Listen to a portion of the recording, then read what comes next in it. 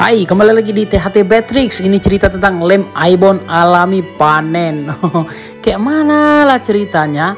Lem Aibon bisa dipanen. Bukankah itu sesuatu yang dibuat oleh manusia? Op op op op op.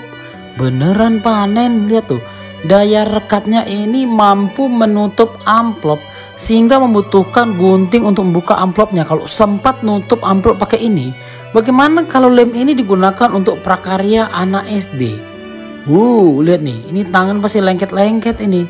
Jangan coba-coba ini kalau kena celana jeans tampaknya ini bisa sampai merobek celana jeans ini. Saking lengketnya lihat. Sudah ditarik-tarik pun eh kemon, kemon tapi perlu tenaga yang lebih nih. Lihat. Seperti sampai lembaran-lembaran nih.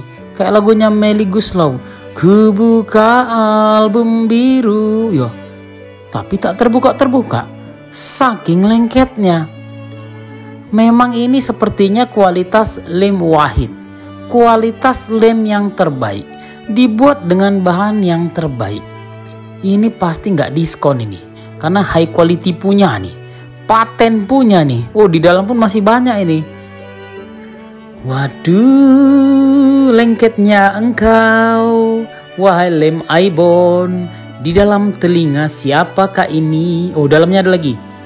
Wah, Ya, ya, ya, ya, ya, ya, ya, panen besar, panen besar. Ini semoga mendapatkan supplier yang baik sehingga dapat berdaya guna tinggi juga ini. Nah ini lapisan dalamnya nih, hmm, lengket pelan-pelan ya. Wah penuh nih kanan kiri. Siap ini harus cuci tangan dong, kalau nggak lengket-lengket. Hmm, panjang rupanya. Siapa bilang dia pendek? Ternyata dia penuh Ternyata dia panjang. Oh panjang sekali. Oh, Kok kayak kelambu nih lama-lama ya? Apakah fungsinya untuk menghindari nyamuk? Saya rasa tidak. Bagaimana menurut kamu? Nah ini lihat nih. Saking lengketnya ditarik pun Itu sampai kulit liang telinganya sampai lecet-lecet itu. Lihat diangkat. Wah lihat Hmm, lengket sekali, wahai sahabatku. Lem aibonmu ini paten punya ini. Apakah terbuat dari sesuatu yang alami atau memang ini silap masuk ke dalam kuping? Jadi siap ngelem-ngelem korek kuping jadi nyangkut. Tapi enggak lah, dia nggak ada riwayat kayak gini kok. Sepertinya ini memang bawaan kotoran telinganya. Nanti yang di belakang itu gendang telinga itu. Lengket ya. Kalau nyamuk masuk, payah keluar ini. Bisa-bisa nyamuknya lengket, mati di sini karena nggak ada makanan. Danger juga ini. Oh ini bisa juga untuk perangkap nyamuk berarti. Berarti selain nyamuk, perangkap lalat pun bisa ini.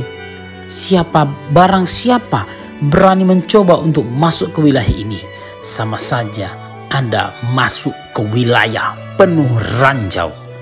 Ini sekaligus ancaman buat serangga-serangga yang mencoba untuk memasuki wilayah berdarah-darah ini. Wilayah berbahaya ini. Masuk bisa, keluar nggak bisa. Nah, pantaslah kalau tidak ada yang berani mencoba ke daerah ini. Terima kasih sudah menonton Lem Aibon ini. Selamat malam.